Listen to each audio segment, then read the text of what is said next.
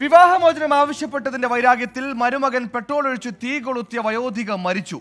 ഇടുക്കി പൈനാവ് അൻപത്തി ആറ് കോളനി സ്വദേശി അന്നക്കുട്ടിയാണ് കോട്ടയം മെഡിക്കൽ കോളേജിൽ ചികിത്സയിലിരിക്കെ മരിച്ചത്.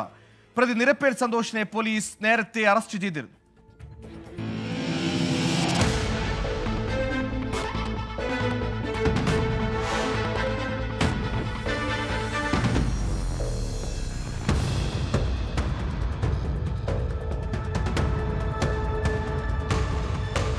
ജൂൺ അഞ്ചാം തീയതി വൈകിട്ടാണ് അൻപത്താറ് കോളനിയിലെ അന്നക്കുട്ടിയുടെ വീട്ടിൽ വെച്ച് മരുമകൻ സന്തോഷ് പെട്രോൾ ആക്രമണം നടത്തിയത്.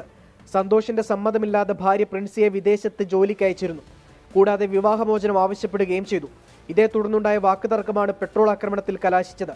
അന്നക്കുട്ടിയെ വകവരുത്തുക എന്ന ലക്ഷ്യത്തോടെ എത്തിയ സന്തോഷ് കയ്യിൽ കരുതിയിരുന്ന പെട്രോൾ ഒഴിച്ച് തീ കൊളുത്തുകയായിരുന്നു.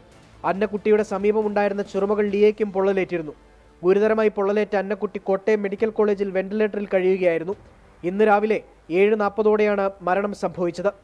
പെട്രോൾ ആക്രമണം നടത്തിയ ശേഷം പ്രതി സന്തോഷ് തമിഴ്നാട്ടിൽ ഒളിവിൽ കഴിയുകയായിരുന്നു. പ്രതിയെ പിടികൂടാത്തതിനെതിരെ നാട്ടുകാരുടെ പ്രതിഷേധവുമുണ്ടായി ഇതിനിടെ കഴിഞ്ഞ പതിനാറാം തീയതി സന്തോഷ് അമ്പത്താറ് കോളനിയിൽ വീണ്ടും എത്തി. അന്നക്കുട്ടിയുടെയും മകന്റെയും വീടിന് തീവച്ചു ചികിത്സ കഴിഞ്ഞ് അന്നക്കുട്ടി തിരികെ എത്തിയെന്ന കണക്കുകൂട്ടലിലാണ് സന്തോഷ് വീട് കത്തിച്ചത്. വീട്ടിൽ ആരുമില്ലാതിരുന്നതിനാലാണ് അന്ന് വലിയ ദുരന്തം ഒഴിവായത്.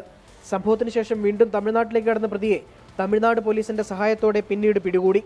വധശ്രമം ഉൾപ്പെടെയുള്ള വകുപ്പുകൾ ചുമത്തിയായിരുന്നു കേസെടുത്തിരുന്നത്. അന്നക്കുട്ടിയുടെ മരണം സംഭവിച്ചതോടെ സന്തോഷിനെതിരെ കൊലക്കുറ്റം ചുമത്തും. ട്വന്റി ഇടുക്കി.